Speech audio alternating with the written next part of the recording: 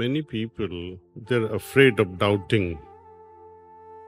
But doubt, whenever it arises in the heart, it's a signal, it's a warning, it's a very subtle warning. It's a protective mechanism, I would like to say. And what to follow or what not to follow at that moment, no school can teach you that, or no parents can teach you that. See, because life throws us all kinds of curved balls in front of us. If you are playing cricket, it's very difficult to play spinners because you don't know in which direction it will spin. Life's problems are also like worse, perhaps worse than those spinning balls in the cricket field. I'd like to share a story with you. There was a very renowned thief in one small village. He was very famous. And he was so famous and so, I would say, he earned his reputation as a thief so much that his own daughter was impressed and said, Papa, I would like to become a perfect thief like you. So she, her hero was father who was a thief. Anyway, for many years, father kept on avoiding that why should I teach her all these things? And who can teach such a trade of thievery? One day he said, Okay, let's go. I will teach you. He says, first recognize a village that is very prosperous. Second, find out which is the house which is the most prosperous. Then find out the movement of that house, when it remains closed and open, etc. When do they go to sleep, when do they wake up. They study it very thoroughly. Then father takes her inside one night at an appropriate time. It was night, dark, pitch dark.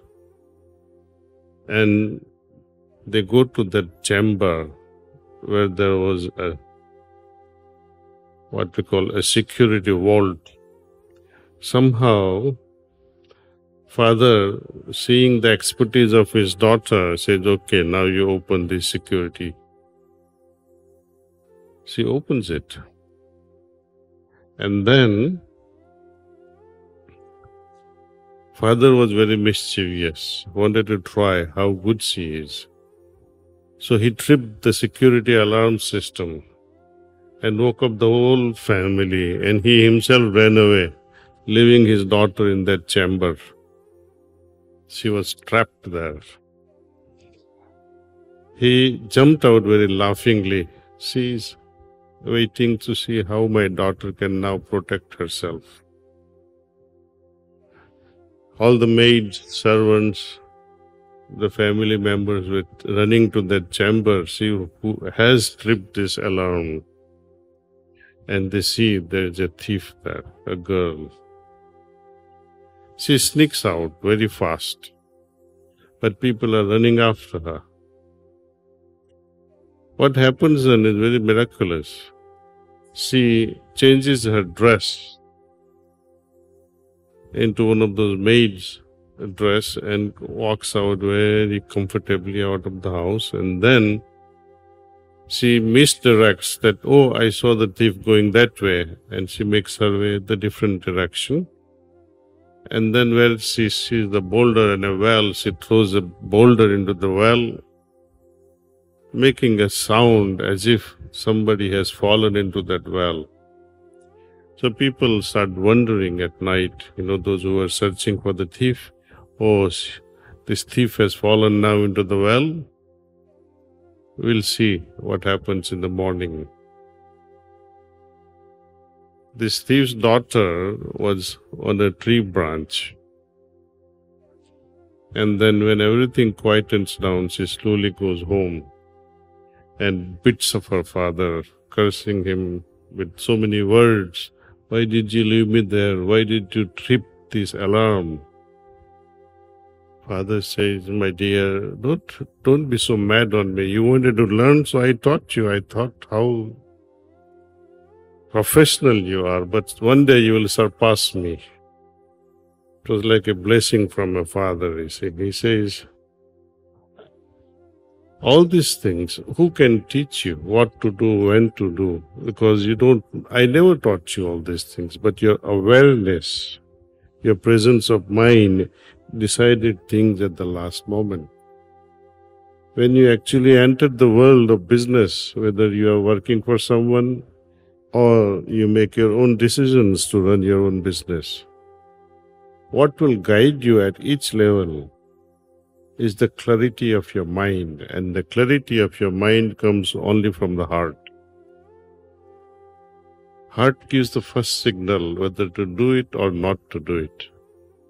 When you grow up at a marriageable age also, and when you find your future spouse, then too use your heart. Don't be mesmerized by their what they possess, but look into your heart and find out whether this person is suitable or not. Such things are not paid attention to before marriage. Parents generally sees the glitter of the another family. That's all they see. They don't see more than that. At the most, they'll go to an astrologer and match, match the kundali and etc. But what about the happiness of the heart? So don't be prevailed upon by your parents. Follow your heart because parents themselves, you can see their condition. You know how your parents are, right? See what they have found for the, each other and what they're going to find for you also. It will be a wonderful thing. Anyway, so how to decide? What to decide? It all depends on the level of awareness that we all carry within us how prejudiced we are, how conditioned we are to various situations. Most people make decision based on the conditions, the previous exposure, previous conditioning. Our shastras, we say, his samskars are like that, that's why this person is behaving like that. So, heartfulness practice teaches us how to go beyond the samskars, how to clean our heart so that we get the right signals from within. So you become your own guide in a way. There are no guides outside, there are no masters outside. Real master is within all of us. Thank you.